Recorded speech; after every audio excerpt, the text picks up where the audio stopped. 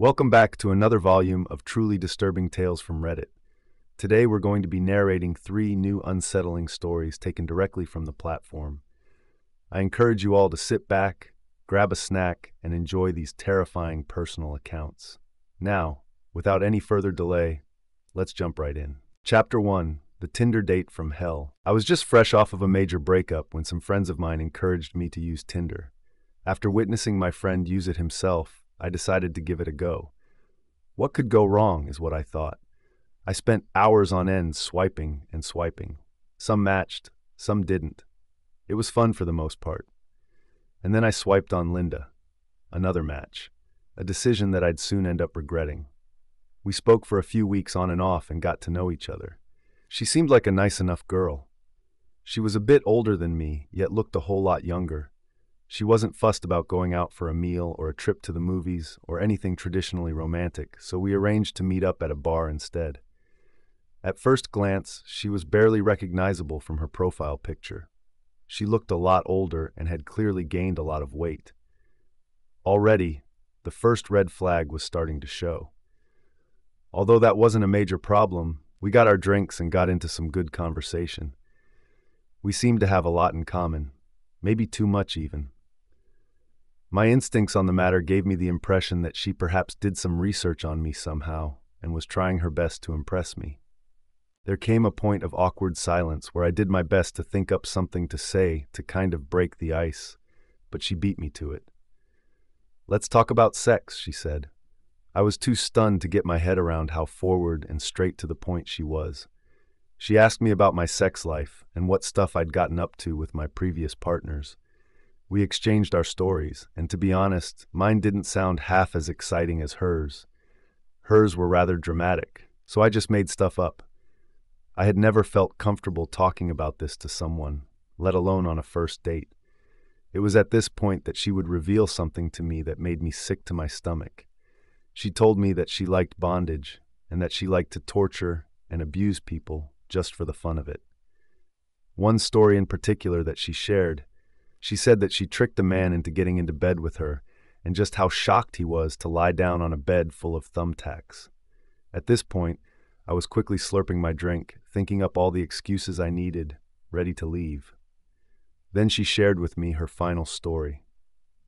She told me that about a week before meeting me, she'd met another man from Tinder. She got him to take her to his own flat. She said she was well prepared and had a bag full of items in her car what she would call bondage tools. To my horror, she told me that after encouraging this poor bloke to drop the vanilla stuff and engage in a little adventure with her, he followed her lead. He laid down on his bed, fully naked, in anticipation of her joining him, only to have her approach him with a roll of clear cling wrap. When he asked what that was for, she simply said, Don't you worry, this will be fun. She proceeded to wrap him from head to toe in this wrap, leaving just a hole for his nose to protrude from. Over and over again, around and around his body, to the point where he was practically mummified. Once she was satisfied with her work, she just left him there, wrapped snugly with no way to free himself from his plastic wrap restraints. As she finished the story, she laughed as she mimicked his mumbles, which were surely pleas for help. She shrugged her shoulders and said, He's probably dead by now, as she chuckled and finished off her drink. At this point, I decided that it was time to leave. No further point in talking or staying, for that matter. I didn't even want to question if that was some sadistic joke or not. I just stood up and started to leave. That's when she went to grab my arm and pull me in for a kiss. With the reflexes of a cat, I swerved her so smoothly that she nearly fell off the bar stool, giving me the freedom to turn and leave, which I did without hesitation. From the time that I left the bar up until a few days after, I got a series of messages from Linda asking me why I'd left and didn't I want to play with her, all of which I ignored. The final message that I got read, probably for the better. I would have left you cuffed to your bedposts without an extra thought about it. Safe to say I never met Linda again, and I hope that I never will. Chapter 2 The Bathtub Lady's Haunting Encounters to preface the story, I'm a paramedic, and I have been for the last 10 years.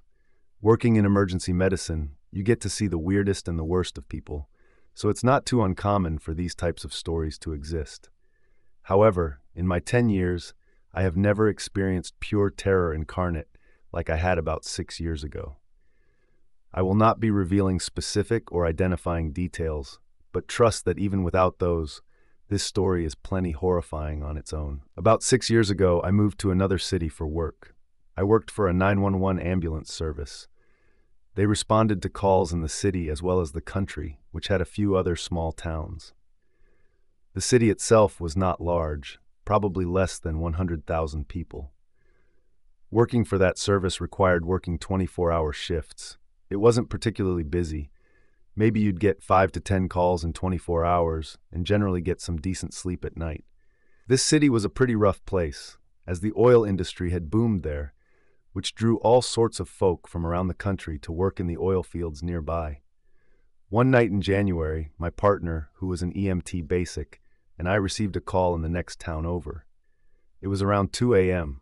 When the call came out, and the only information we had was that a person in an apartment called 911 after hearing the downstairs neighbor screaming for help. We responded emergent as the details were very limited. When we arrived on the scene, police and fire departments were already there, and we were getting ready to make entrance into the building with them. The person who had called 911 was there and told us which apartment she heard the screaming coming from. We attempted to pound on the door at first to get the resident to come to the door. When no one answered, the fire department got ready to spread the door and make entry. Luckily, the landlord showed up and gave us keys to get into the unit. As we opened the door, that's when the creepiness began. The apartment itself was pitch black, not a single light, as if no one was home. Police entered first, and with our flashlights, we followed. Looking around the apartment, the kitchen and dining room looked like a hoarder's nest. I'm not exaggerating when I say there were literally five feet tall mountains of garbage, food, and dishes in the kitchen, and the same in the living room, only this time with magazines, clothes, and garbage. This meant there was only a very narrow walkway to navigate the entire apartment. Officers proceeded down the hallway ahead, where the bedroom and bathroom were located. One of the officers stopped at the bathroom door as there was a light shining from underneath. The officer opened the door and just stood in the hallway. With a flat tone, he said, She's in here. I walked in first to the bathroom. The first thing I noticed was the peculiarity of the light in the bathroom. It was a very pale yellow light coming from a single bulb on the ceiling, similar to those old heat lamps that used to be common in bathrooms. The light gave off an odd vibe as it was just so unnatural. The next thing I noticed was the lack of anything in the bathroom. No floor mats, no toilet cover, no towels, no knickknacks, just nothing. Empty, except the vanity which contained the sink. On top, in the bowl of the sink, were approximately 20 to 30 makeup bottles piled up. Some were opened and leaking, causing there to be powders and liquids everywhere. The last thing that I noticed was the body of an elderly woman lying naked in the tub. As I walked closer, I could see her lying on her side, nearly in the fetal position. Her skin was pale, and there was about eight inches of water in the tub. Looking at her face, her eyes were closed and her head was against the bottom of the tub, with her mouth and nose completely submerged under the water. My partner stepped up behind me. He suggested that we just call the coroner and inform them of the body. Two officers piled into the bathroom behind my partner so that there were four of us in this tiny bathroom, with me next to the lady in the tub. With me being who I am, I decided to do my due diligence and at least make sure that the lady was actually deceased. I kneeled down next to the tub and reached my arm in, putting my fingers on her neck, attempting to check for a carotid pulse. In an instant, without warning or the slightest hint of movement, the woman sprang up out of the tub with the agility and speed of a feral cat. The only reaction I was able to manage was to just stand up as quickly as possible, and I stood there just staring at her. She stared right back at me, eyes wide as could be, before she began screaming at me. She attempted to cover herself with her hands as best as she could while sitting in the water still. I quickly looked around and noticed everyone else who was in the bathroom with me had bolted out of there, not a single soul in sight. I tried to steel myself and tried calming the lady down, telling her who I was and why I was there. She denied ever screaming and told me she does this every morning as she has some kind of joint condition and soaking in warm water helps ease her joint pain. Now, at this point, I have my doubts and I have to question this woman's sanity. I questioned her regarding self harm and addressed what potentially could be interpreted as suicidal behavior, but she denied all of it. The next step was to determine her mental capacity to ensure she was in the right frame of mind to make responsible and appropriate decisions. She answered all my other questions appropriately, and at this point, per the law, she's able to refuse any and all care as she is mentally sound. I asked her if she would at least allow me to check her vitals so that I could be sure she is healthy and I could add it to my report. She vehemently refused and told me to get out of her house, which she had every right to do. I acknowledged and had her sign a refusal of service form. As I left the bathroom, my partner, the two officers that were in the bathroom with me, along with two other officers and firefighters that were waiting in the apartment, were just staring at me with wide eyes and gaping mouths, speechless. I didn't say a word, and we all left the apartment. Once we got outside, I had the most uneasy, uncontrollable fit of laughter. My partner and the officers started laughing too. My partner told me later that all he remembered was seeing her move and hearing me say, Oh, which I don't even remember saying, and then the rest of the party running out of the bathroom. I wish I could say I never saw this lady again, but that would just be untrue. Like I said, after this call, I was able to laugh about it once my heart stopped racing. I figured I would never have to see this woman again, and just that alone gave me comfort. I told the story several times to family, friends, and coworkers just because of the sheer shock value. This part of the story I've only told to a couple of people because most probably can't stomach it. So be warned, this will contain some graphic content. About three months after the first call with the bathtub lady, I was working with another EMT basic partner. Not the same one as before, but he was well aware of the story. So the day is going by like normal and nightfall comes. I'm hoping to get some sleep as generally night is a little calmer. Each of our stations has a few bedrooms with twin beds to allow us to at least sleep somewhat comfortably. I take off my boots and lay down to doze. I always keep my radio turned way up and by my head so I can wake up if we get a call. Sure enough, tones drop on the radio and I wake up looking at the clock. It's about 4 a.m. Radio traffic requests the ambulance for a welfare check on an individual who has not been seen for a while. Both my partner and I get up, put our boots on, and start responding to the address. As we get closer, I start recognizing the area before I even see the building. I tell my partner, I swear to God if it's the same lady. He just laughs, and we continue on our way. As we pull up on the scene, sure enough, it's the same building. At this point, my heart starts to race again. A few officers were already on the scene. As I get out of the ambulance, one of the officers comes up and tells me the lady we're here for has a friend that works at the gas station nearby.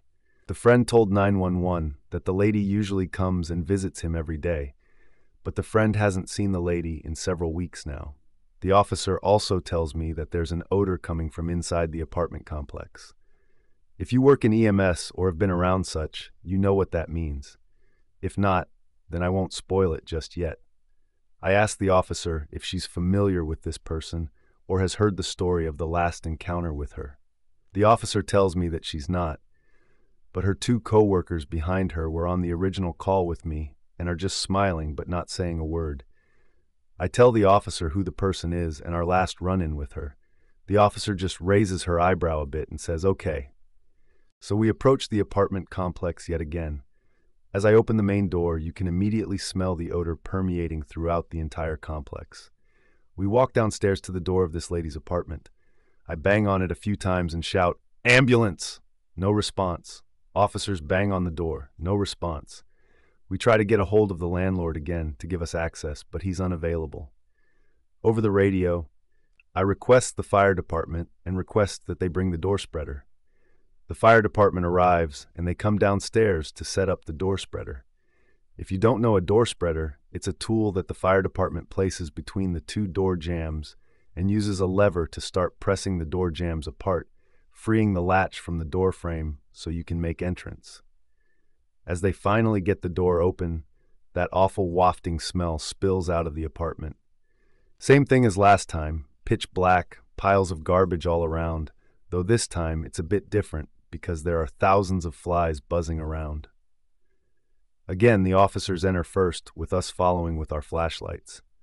One of the male officers gets down the hallway to the bathroom and opens the door. He looks back at me, shakes his head no, and continues forward. My EMT partner, who is pretty new, is right behind me. I turn to him and tell him to wait in the hallway, and then I'll let him know if I need him. I was trying to be nice and to spare him. The officer continues down the hallway toward the bedroom. At this point, the anxiety is increasing because now we are in uncharted territory, and once again, I have no idea what we were going to find here. The officer eventually makes it to the bedroom. I see him shine his light into the bedroom, then uses the bend of his elbow to cover his mouth and nose. That's when he waves me over. As I walk to him, the smell only gets stronger. I peer into the bedroom with my flashlight, and that's when I see her. The bedroom is set up so the bed is right in the middle of the room, with the head pressed against the wall, so there is some space on either side and at the foot of the bed, or at least there would be if her floors weren't filled up to the height of the bed with clothes, magazines, books, food, and garbage. At the foot of the bed are two large, four foot tall piles of random stuff that, at the base, are probably about four feet in diameter. I know it's hard to visualize, but picture two large conical shaped mounds side by side at the foot of the bed. In the tiny space between the two huge mounds and the foot of the bed lies Bathtub Lady. Stunned for a moment, I stand there next to the officer and just look. This is the part that gets grotesque. Bathtub Lady is lying perfectly on her back with her arms folded up and crossed in front of her, like you would see a skeleton doing in the movies. Bathtub Lady's skin looks almost like paper. It's dried out and shrunken, turning black and rotting. The level of decomposition from her is one that I hadn't seen before. Her hip bones were visible where the skin had cracked and receded. Her kneecaps were coming through her skin. A few ribs were just barely visible, poking through the skin on the sides of her upper abdomen, and her hair was beginning to fall out. Her lips were all but gone. Her eyes were gone. I got a bit closer to look. All I kept thinking was, if you wake up, this officer's probably going to draw and shoot you in the head. I walked a little bit closer, saw that she was almost perfectly preserved like a mummy. There was absolutely nothing left of her eyes, with the exception of maggots crawling around in the sockets. From behind me, I hear a couple of quiet, muffled gags, and that's when I walk back out to my partner. I tell him, Sorry, man, but we need the body bag, and I need your help. Everyone walks outside to get some fresh air. The officer that was in the bedroom with me gagged a few more times outside, but luckily held himself together and didn't vomit. The one good thing about this is we had recently been given these really nice respirators from FEMA for a recent Ebola outbreak. My partner grabbed the body bag, and I grabbed the respirators. We put on our gear and walked back inside. The officer that was with me, like a champ, came back inside as well without a respirator and held the flashlight for us. My partner and I had to spend 10 minutes just clearing out all the trash so we had enough room to put the body bag down next to Bathtub Lady. Once we had enough room, that's when the sketchy part came. If you've never seen a body with that amount of decomposition, I can tell you it's very brittle. We attempted to move her as carefully as we could so as not to break anything.